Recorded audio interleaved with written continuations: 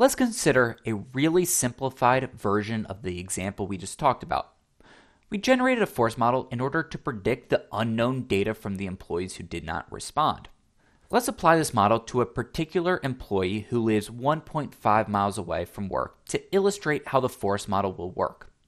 Remember the trees here are simplified to demonstrate the concept. For the first tree, a random sample of the data is taken and a tree is created from it. Here's the tree.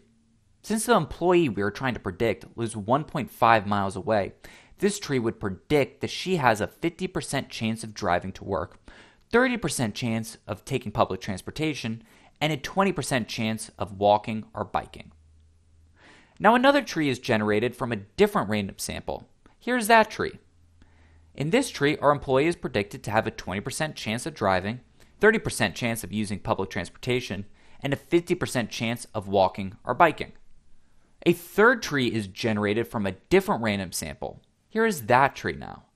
In this tree, our employee is predicted to have a 30% chance of driving, 20% chance of using public transit, and a 50% chance of walking or biking.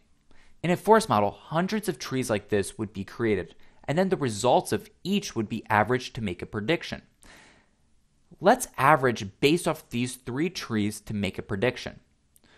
So driving is 50% plus 20% plus 30% divided by 3. So it's 33% likely to be driving. The public transit was 30%, 30%, and 20%.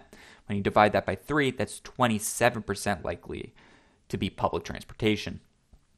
And then walking and biking had a 20%, 50%, and a 50% chance divided by 3, which equals 40%.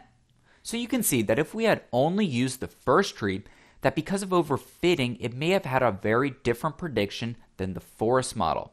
It would have predicted most likely our employee drove. But using a forest technique, it predicted that she most likely walked or biked.